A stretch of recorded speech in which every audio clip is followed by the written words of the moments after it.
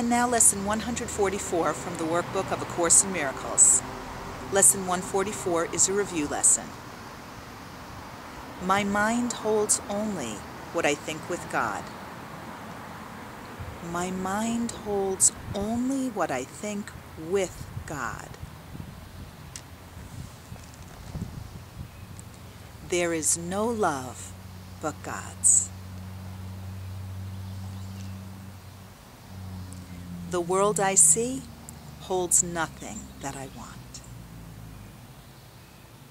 That's lesson 144, a review lesson. If you'd like to read my commentary on the workbook this year, go to amytorresacim.com and click on Amy's blog. Namaste.